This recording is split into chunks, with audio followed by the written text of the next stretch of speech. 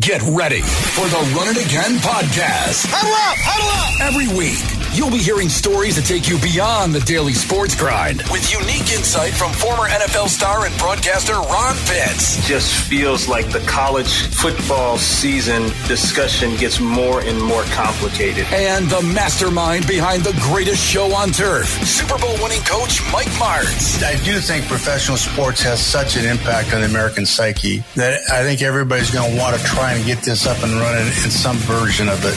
We'll connect you directly to the source and tell you what's really going on. The biggest issue is, and I think this is important, is they're not exposed to family either. Oh boy, that's going to be interesting. With conversations and tales from guys on the inside. It's Run It Again. We settled in second half and started to run the football better. You've got to get control when it goes hot like it did today. We're trying to put you in a position so that you can be evaluated doing NFL stuff. Composure. Focus on the details. And when you get the details done with a great attitude. Everybody, gotta go work. Everybody, gotta go work. Everybody, gotta go work. Work time. From 1999 to 2001, St. Louis was the center of the football universe, thanks to an explosive offense that revolutionized the NFL. Dick Vermeil began building an offensive machine. The first step was handing over the controls to an unproven play caller. It was his first opportunity to be an offensive coordinator, and nobody, in my opinion, in the history of the league, came into an organization and made the contribution he made.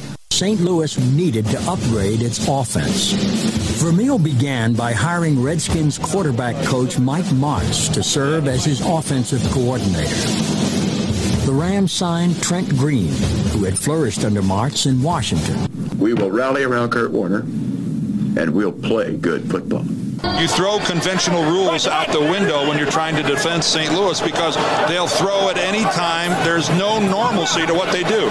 You better be able to adjust. You better be able to, to change things on the fly because if not, it's going to be a long day. We will come out on the first series, first play with four wide receivers. Most teams would do that on third down every once in a while. From 1999 to 2001, no team completed more balls for more yards or more touchdowns.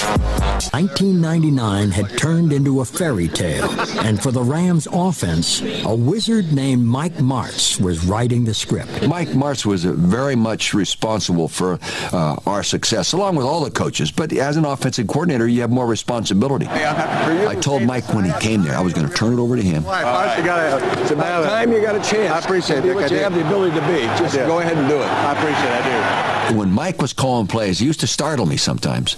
He'd do things coming out of our own area in the field that I wouldn't have done. Oh, Michael, Michael, Michael, down here? Jeez, good luck. I'd say, "Oh my God, Mike, what uh, what are you doing?" Bang, and it would work. That's one of the reasons we became so explosive offensively because we had no fear. Martz's offense would be called the greatest show on turf, a scoring spectacular. This game's all about scoring points, guys. We got to score some points. World championships are all about. Now we battle. Couldn't ask for a better script. Let's go win it right now. You know, we called the play. The play was 9.99, uh, which was basically all goes. You know, all four of our receivers were going to just run straight down the field. Warner back to throw. Rainbow's the far sideline. It is caught by Isaac Bruce. Makes the move to the 30,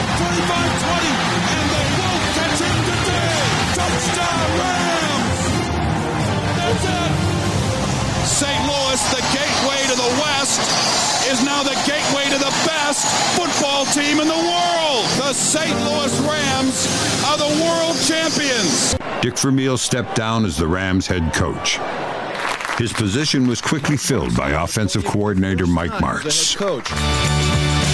In 2000, the Rams became the first NFL offense to gain over 7,000 yards in a season.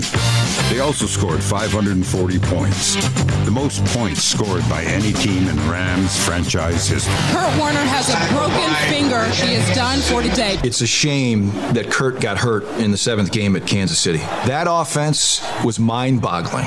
Through six games, it averaged 44 points. It was on pace. And keep in mind, this is not two or three games, it's 40% of the season. They were on pace for 698 points. they were on pace for more than 8,000 total yards and 6,000 passing yards. I really believe had Kurt stayed healthy, that offense in 2000 would have obliterated just about every team offensive record for a single season on the books.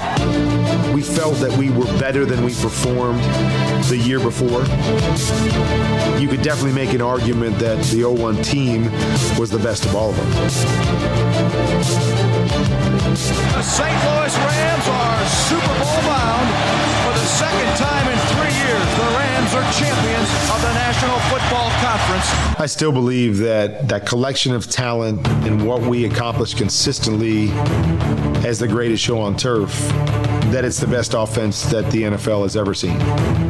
And we ushered in a new era of football that everybody's playing now. Welcome back to the Joel Oriend Show. Walk into my plan and you're going to win, win, win. Winner.com. On 92.1 The Team. All right, let's bring in our next guest. He is the professor of pass. He's the orchestrator of offense. He's the architect and the ringmaster behind the greatest show on turf. He has a coaching record of 53 and 32, three playoff victories underneath his belt. He coached in three NFC championship games, two as an OC, one as a head coach. He won a Super Bowl in 1999 as the offensive coordinator of the St. Louis Rams, got to a Super Bowl as a head coach in 2001 with the St. Louis Rams. He started out his coaching career at Bullard High School in Fresno, California. He then coached at San Diego Mesa College, San Jose State, Santa Ana College, Fresno State, Pacific, Minnesota. He was at Arizona State from 1983 to 1991. He then joined the Los Angeles Rams in 1992 as an offensive assistant. He was the quarterbacks coach in 97 and 98 with the Washington Redskins, then joined the St. Louis Rams as the offensive coordinator in 99. He became the head coach in 2000, was with the Rams until 2005, then was the OC of the Detroit Lions in 06 and 07. He was with the San Francisco 49ers in 2008, the Chicago Bears in 2010 and 2011, and most recently the head coach of the San Diego Fleet in the AAF. He is also co host of a great podcast, the Run It Again podcast. His co host, Ron Pitts, former Buffalo Bills and Green Bay Packers player. Ron also was a play by play and color analyst for Fox on NFL games for many years. And if you are a helmet head, you're going to want to subscribe, download the podcast, run it again. It is a great listen. Let's bring him on. It's Coach Mike Martz. Coach, thanks so much for joining us. Well, thanks for having me. Coach, we're in Western New York here. We are in Bills country, immersed in Bills Mafia. So, wanted to bring someone on with a national perspective, unbiased. McDermott just signs a six year extension. They get to the playoffs for the second time in his three years. They come up short last year against the Houston Texans. What do you expect? What is your thoughts on the Buffalo Bills going into this year? I think they're a real good team. They're going to be very good this year. I think that adding Stefon Diggs is a is a huge sign for them. Um, I, I think it'll impact their running game immensely. Not so much that they're going to throw the ball to him a lot because I don't believe they will. His big playability it changes coverages, and when you change coverages, it makes it easier uh, to run the football. They've got to get that eighth defender out of the box, even though Singletary was averaging like 5.1 yards a carry. Can you imagine with one less defender in there because of the threat of a guy like mm-hmm. Diggs? And Bronson a good player too. So just the threat of him out there and being able to make big plays will alter some of the coverages and allow them uh, the ability to have more success running the ball, I believe. On with us, Coach Mike Martz won a Super Bowl with the St. Louis Rams in 1999 as the offensive coordinator. And, Coach, when you were normally brought in, it was by a defensive head coach, a defensive minded head coach, and they wanted you to run the offense. You had Vermeil as your head coach in St. Louis. You had Marinelli with the Detroit Lions. You had Mike Nolan with the San Francisco 49ers. You had Lovie Smith with the Chicago Bears. How hard is it as an offensive coordinator to have a defensive minded coach who might be more conservative than you? Or is it better to have a defensive minded coach because he's not necessarily getting as involved in the play calls as maybe an offensive minded head coach would be? It, it, never really mattered. Actually, Dick was running the offense before I got there. I think. Um, the biggest issue is that you don't put guidelines or restrictions on what they can do, and just trust that you go with the talent that you have. Because each year the teams are personalities, and as you change that personnel. Uh, that personality changes and will can take in different directions. And I know he wants to run the ball effectively, and they've done a pretty good job of that. But you know, those you know, for three straight years there, uh, we were uh, in the top five um, rushing and in the top 10 for about five straight years. So people don't realize we ran the ball very well. Yep. But um, the point is the passing game got all the attention. Now, I think that play action stuff will help immensely Mm-hmm. uh, with, with Stefon there. He's a big play receiver, and they just have got to be able to come out and, and uh, put the ball down the field a little bit more on first down.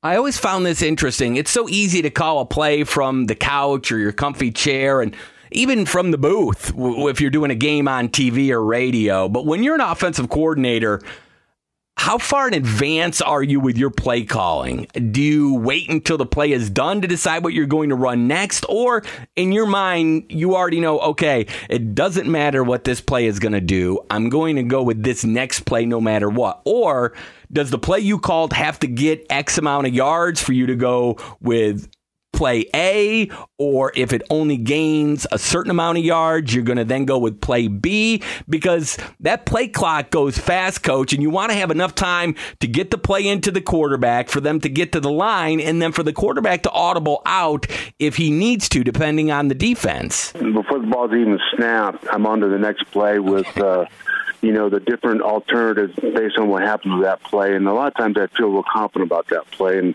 I already have something that you want to, you know, that you want to call almost regardless, you know. So uh, you you have to be at least a full down ahead. Uh, a lot of times I don't even see the ball snapped, you know, um, and then you look up and you see the defense, and that's why I sit on the field. But you always a, a play ahead. You can't have somebody in your, you know, had everybody turn their, their mouthpieces off, right?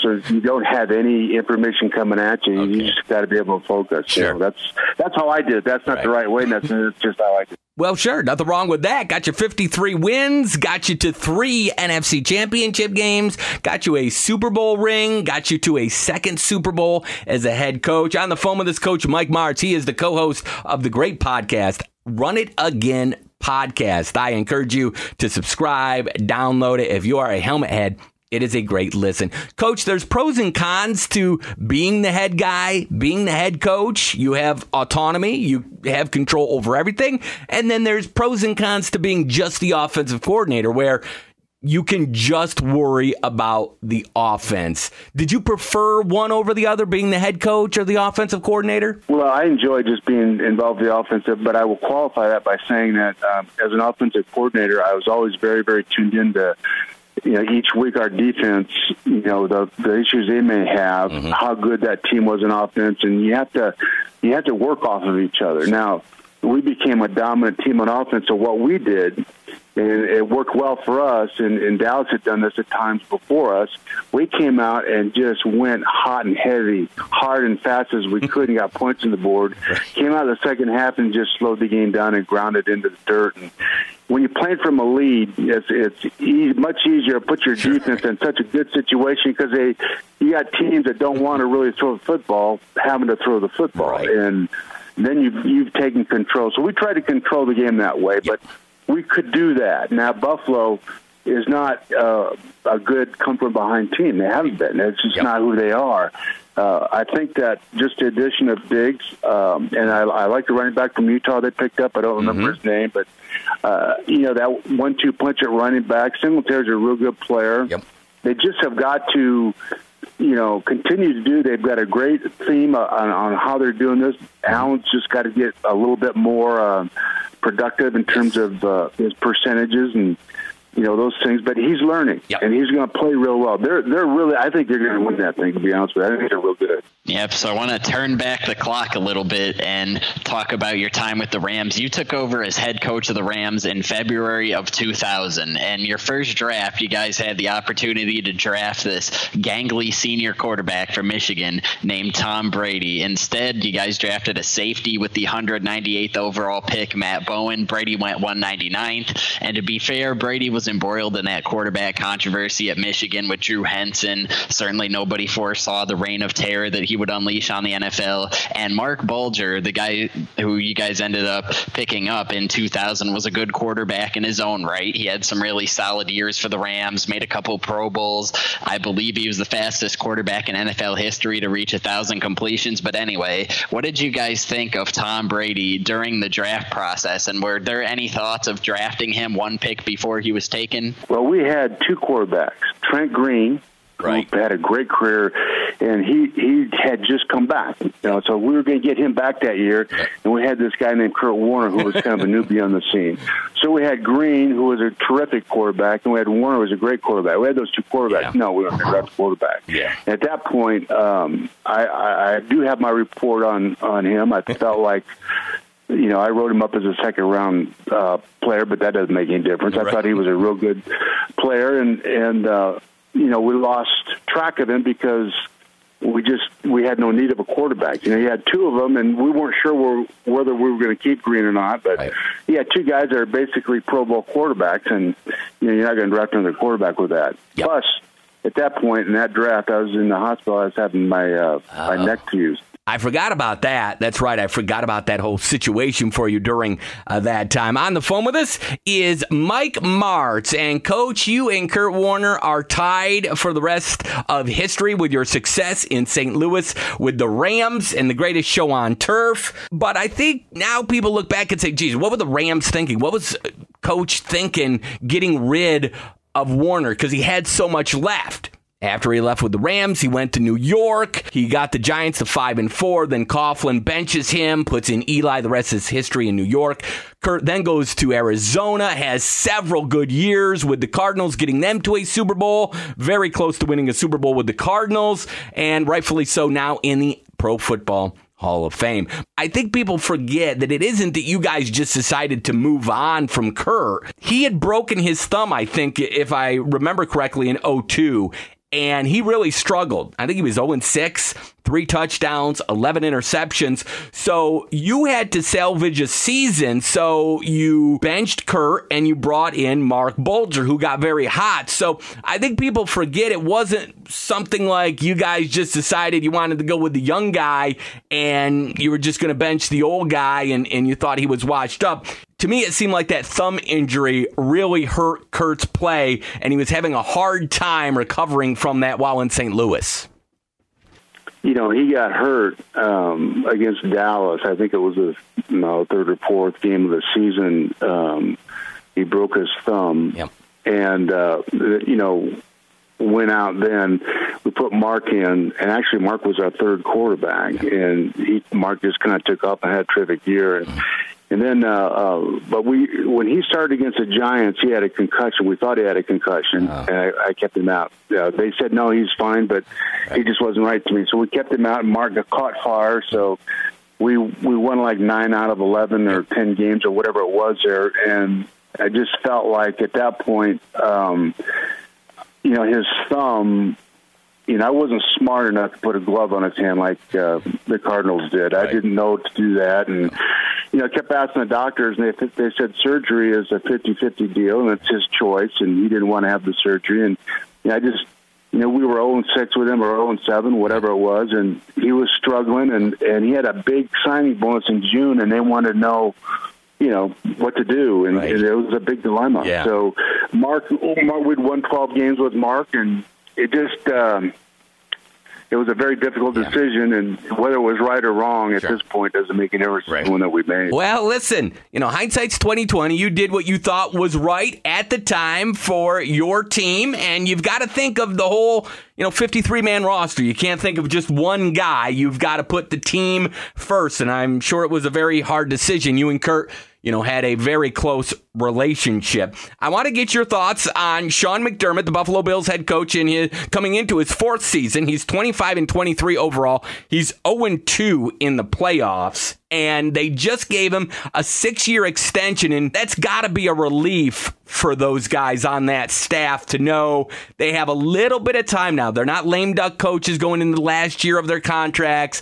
They've got six years. They've got time to implement their system, to build this program, and not only get into the postseason, because they've done that now twice, but to get that elusive playoff win, the first in franchise history since 1995. It is, but you know, I don't. As a coach, I'm sure he, Sean is this way too. You don't think about those things. You know, once you're once you start coaching, it's uh, it's day to day. You know, doesn't make any difference what you did in the past. It's it's what you do today, and their approach. And the biggest issue is having, uh, you know, this whole game is is based on talent and personnel. Sure.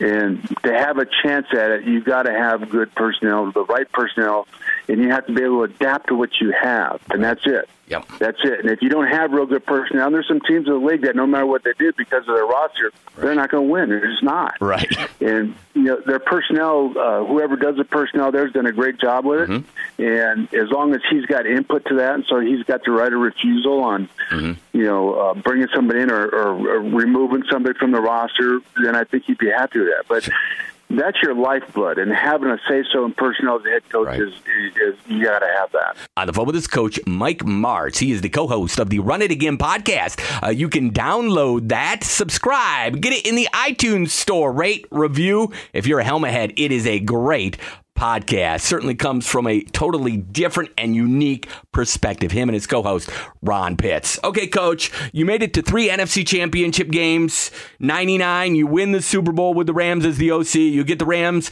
back to the Super Bowl as a head coach in 01. You're a 30 yard field goal kick away by Jeff Wilkins uh, to get to another NFC Championship game uh, in 03. You get to the NFC Championship game in 2010 as the offensive coordinator for the Lovie Smith led Chicago Bears with Jay Cutler as quarterback. So, as I mentioned, McDermott's 25 and 23 overall, 0 and 2 in playoffs. So, we wanted to take a little bit more of a deep dive into his record and his numbers. Okay, so I'm to give you a couple categories. You tell me what category is the most meaningful. Okay, so uh, record against teams with a 500 or better record, record at home, record on the road, record against winning teams at home, record in games decided by one possession or less.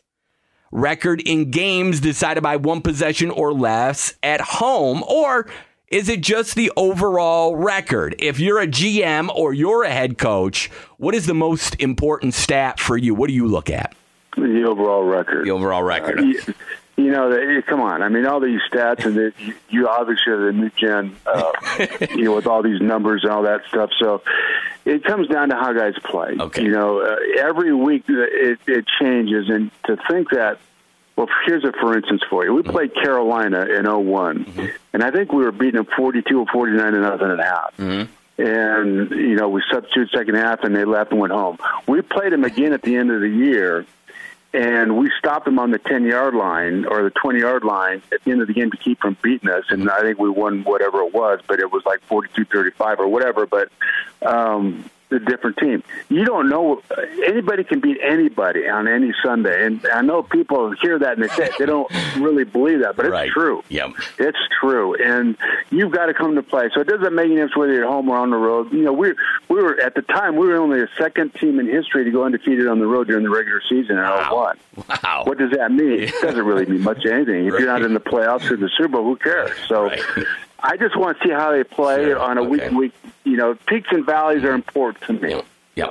I think the road thing is, is probably uh, an important issue, but um, you have to be able to win on the road to, to win a championship. There's no question. Uh, so let's talk about the AFC East. So you, you mentioned you really like the Bills. Uh, you know the the Patriots, of course. Uh, you know they're always been at the top. Now it's Cam and, and Jarrett Stidham. I believe Cam is is the leader in the clubhouse to be the quarterback. Although there's some question if you know he can run the type of offense they want to run. I would think they would adapt to him a little bit this year, even if he's just kind of this in between bridge to Stidham uh, of the future.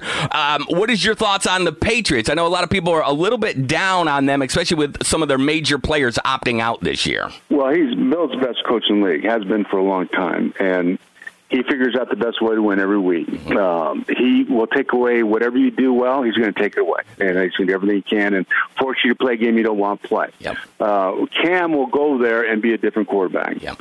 and he won't have a choice. Right. Uh, what he'll do is he'll go there and he'll have to adapt. And this adapting to Cam and what he does best Mm-hmm. is there's a little bit to that, but he will learn the game of football. And he will be disciplined and operate within that system. And then when things break down he can make a play. But he's not going to freelance and do some of the stuff he's done in the past. He's they, whether he can do that or not remains to be seen. Uh, but that's what they're i believe that's what they'll approach. And then there's some things they'll do for him because of his unusual ability. But uh, you know he's going to be one he's going to be one of 11 not 10 plus 1 right. And that's the whole theme there. So i think they'll win. I think they'll be very good because that's who he is. Um, he's a great coach. Um, but i do think the Bills will be the new kid on the block. Yep. Uh, so then uh, the Jets. I know. I believe you coached with G- Adam Gase. I think in San Francisco. Real quickly, uh, I know some people are. You know, Jet fans don't think he's the answer. Him and Darnold uh, haven't progressed as much as I guess they would like them to see. And then Miami. So how would you rank the AFC and, and those other two teams that I just mentioned? Well, Adam uh, was an off, uh, worked in the office when I was at Detroit. Okay. And he wanted to become a coach.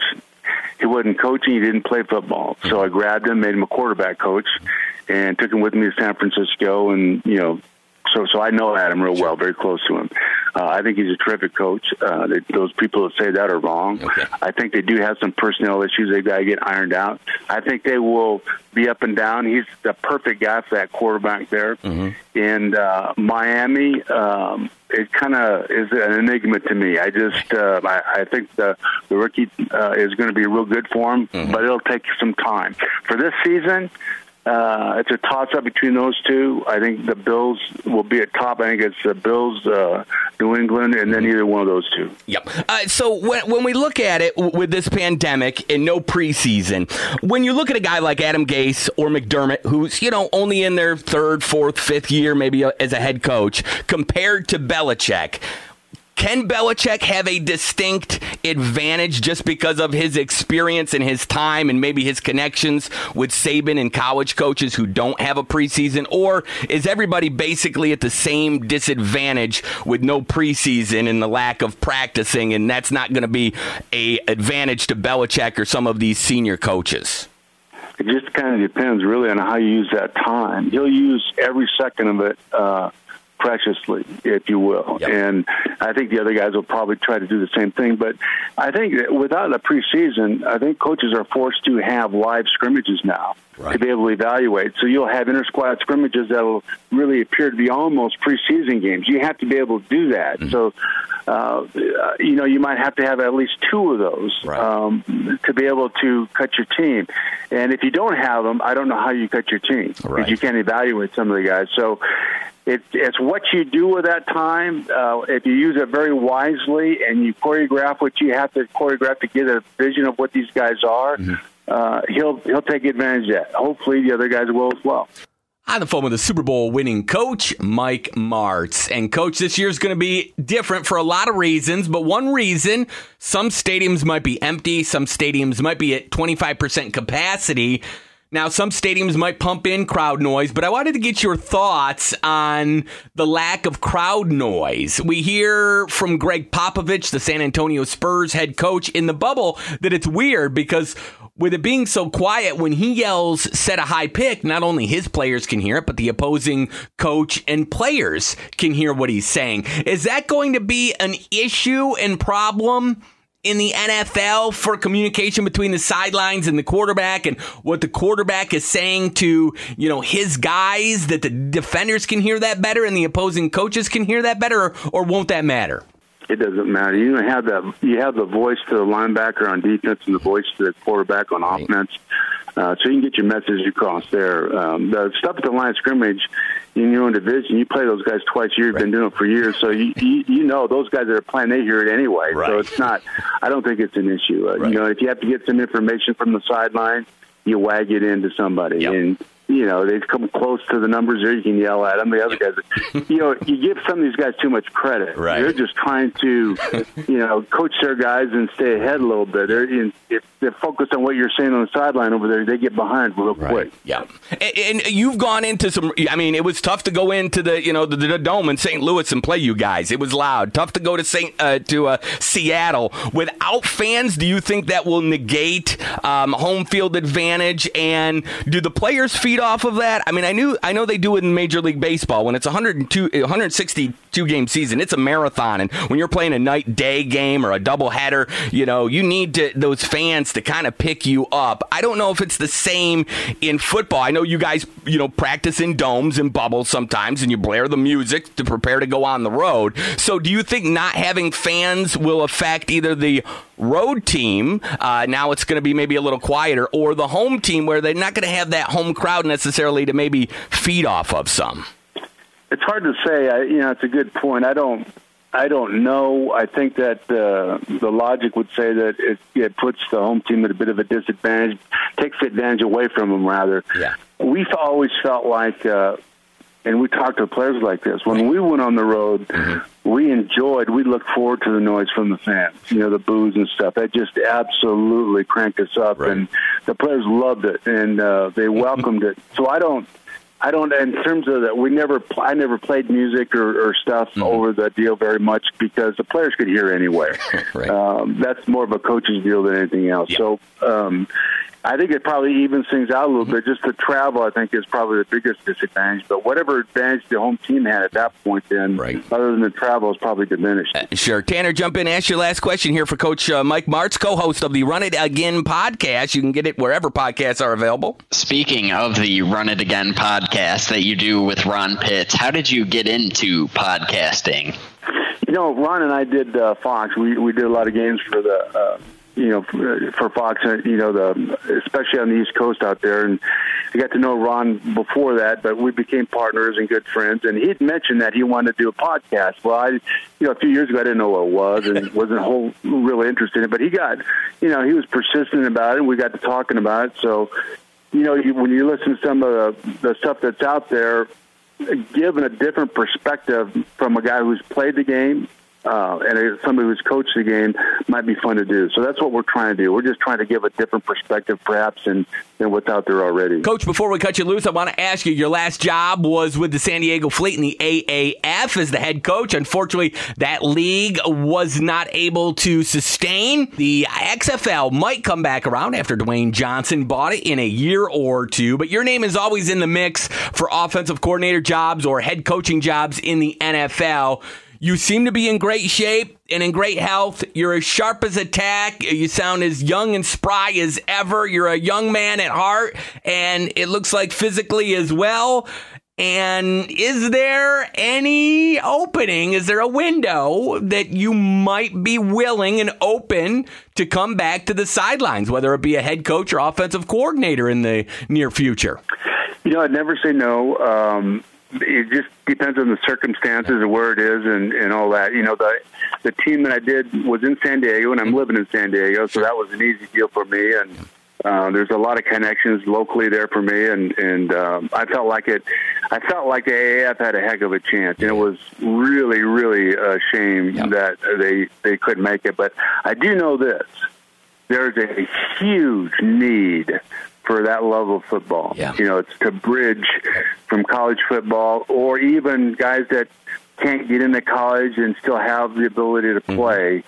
Some sort of league that can develop young talent for the NFL. I, there's a big need there. I agree with you, and what I don't understand is there's been uh, reports and you, uh, anonymous um, sources in the NFL that they they don't seem to feel like they want a farmer feeder system. That they don't need that. But you look at the uh, you know the uh, Major League Baseball, they you, they use the minor leagues, A, Double A, Triple A, uh, G League uh, in the NBA. That has become more popular.